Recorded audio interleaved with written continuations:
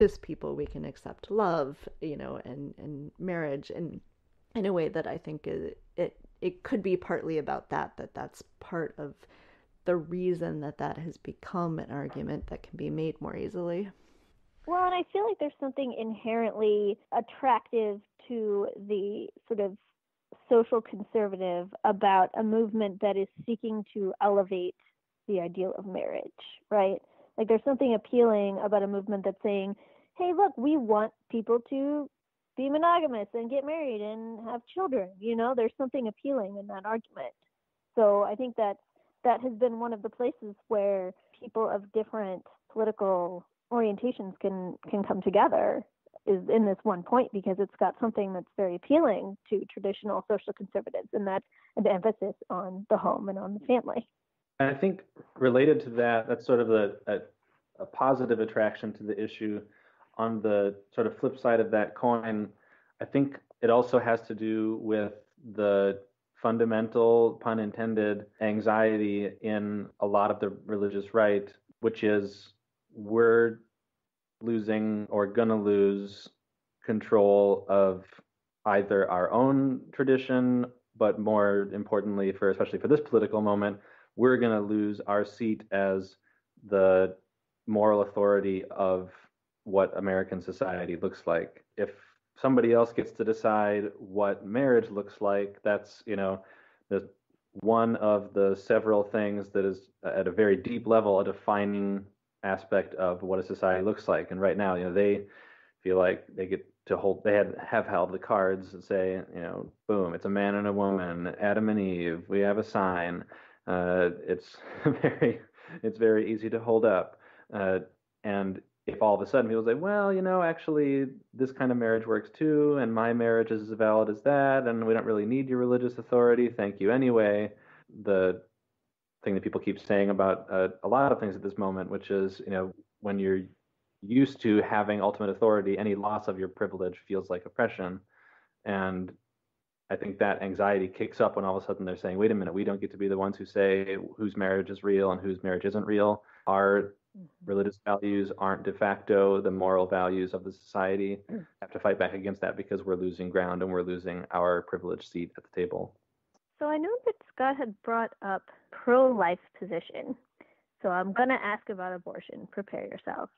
Oh. Um, one issue that I always hear about from people who are more right-leaning Christians is how can I vote for candidates who don't seek to outlaw abortion? I know a lot of people talk to me during the 2016 campaign, and I would explain why I was supporting and voting for the Democratic candidate and how that aligned with my beliefs. And then they would say, but I just can't, I can't agree with you because I can't vote for somebody who doesn't want to outlaw abortion.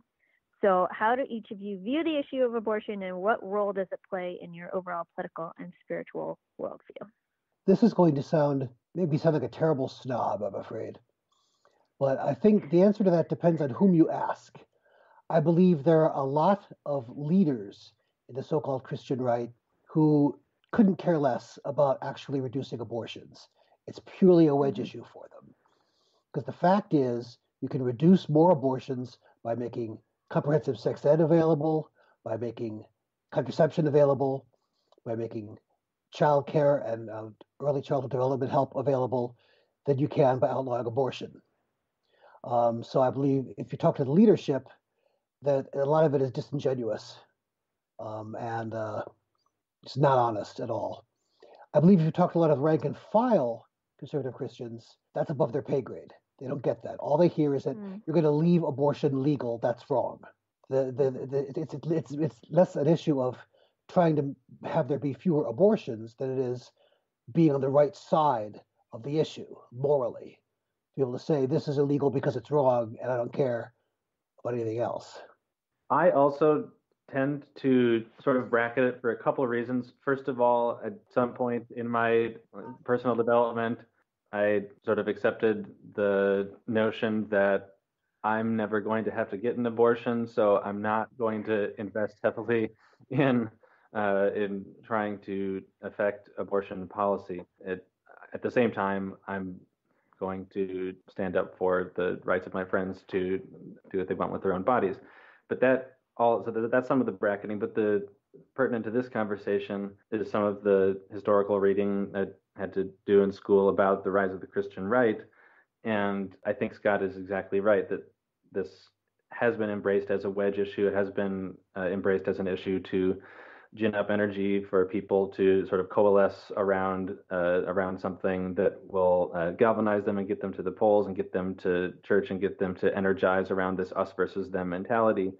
And you can look at historical evidence for that, where I think it, as recently as the 1978 Southern Baptist Convention declined to include opposition to abortion as a plank in their platform, largely mm-hmm. because at that time it was still a Catholic issue and they didn't want to be seen as too in line with Catholics.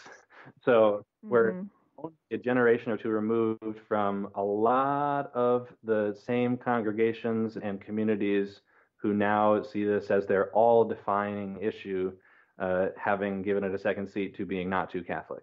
Because of that, and truly because of part A, uh, where you know, as a man, I'm very content to be in the passenger seat on the issue of abortion. I, I generally bracket it and try to not let it pull me into the kinds of destructive converse that I might otherwise get into with my more conservative Christian friends and neighbors. So, Sophy, as the female Christian left person in the conversation, how do how do you respond to this question?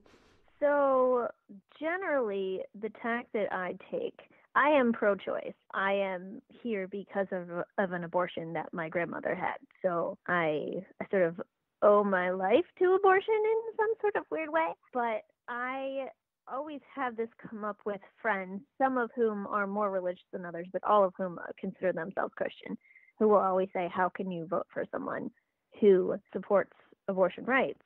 And first of all, I I usually talk about what both Scott and Ryan have talked about about how um, the best way to decrease the number of abortions is actually not to make abortion illegal, but to provide contraception to women, to provide affordable health care to women, to provide things like paid family leave.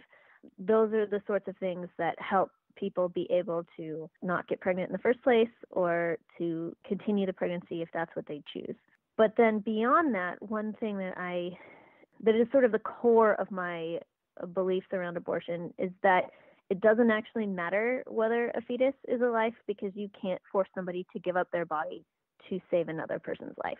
If my sister needed a kidney and I was a match and she was going to die without that kidney, I have the right to say no to the kidney transplant and nobody can hold me down and make me give my kidney to my sister even if she's going to die. So you can't make women give up their bodies even if a fetus is a person in order to save that person. So that's that's sort of the core of my abortion beliefs. Yeah, I think it's it's a tricky thing. You know, I don't think we're going to get a lot of people who are in the sort of quote unquote religious right to start voting for Democrats even if they changed their view on abortion. You know, I I it's just being used as a wedge issue. But I do think it's a sticking point still for a lot of Catholic voters.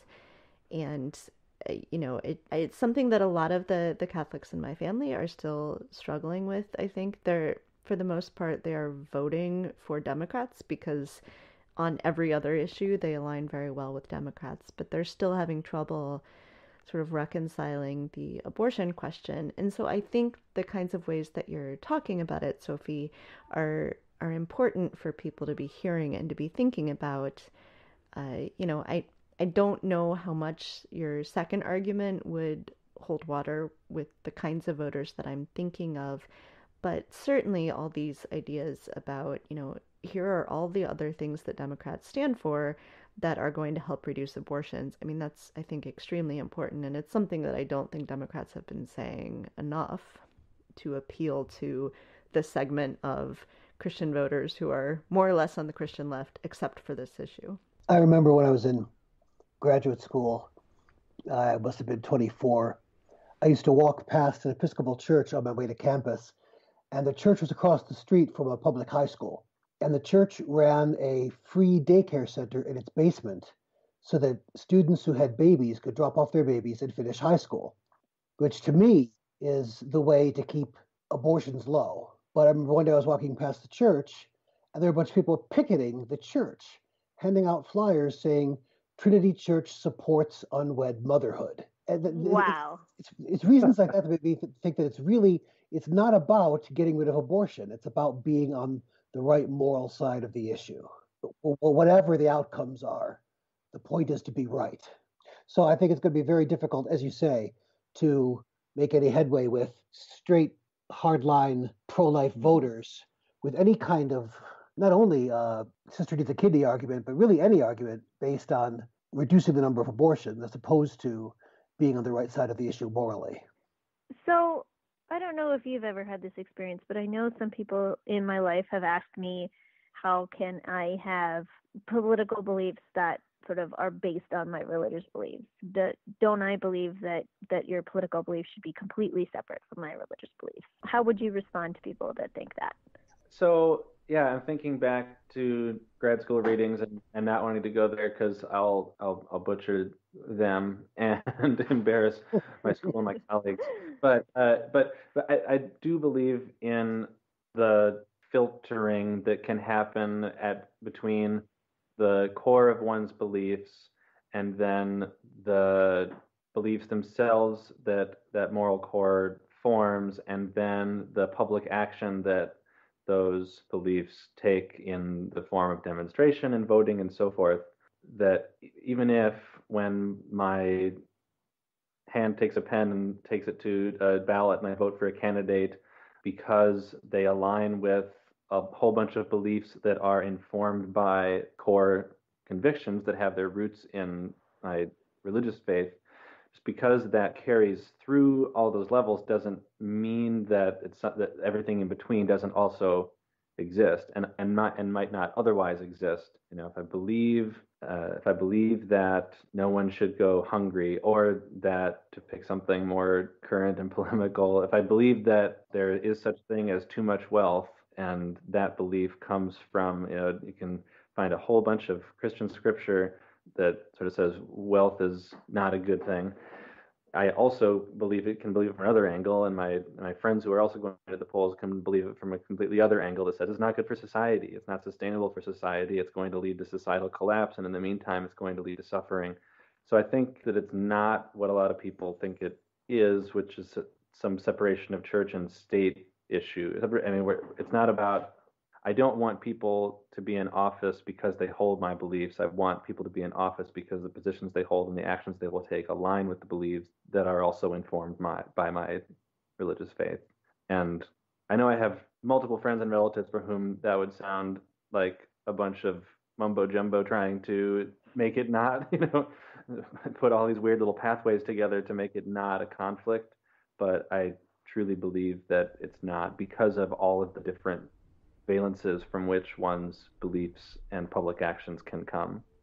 Yeah, so I'm not religious, but I was raised in a religious faith, and there is no such thing as a truly objective viewpoint that a person has, right? I mean, everything mm-hmm. that I believe came from somewhere, and a lot of it came from the religion in which I was raised.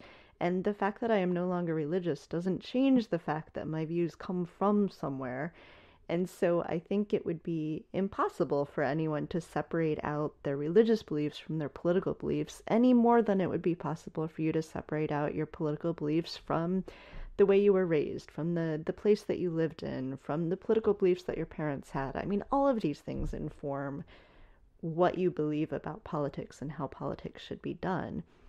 You know, in my mind, I believe that what I believe is just objectively right, but of course that that's not the case, right? I mean, there it it's something subjective. It's something that comes from somewhere. So, you know, I, I think it's one thing to say that, you know, a religious leader shouldn't tell somebody how to vote. I mean, that maybe is a line that we can say shouldn't be crossed. But to say you can't use your religious beliefs to inform your political beliefs makes no sense. And that, of course, is so, objectively true, what I just said. Obviously. I knew that. So, one thing that comes up a lot uh, with my husband and his other friends who are ministers in the Episcopal Church, especially, is that religion has seen a pretty rapid decline in membership over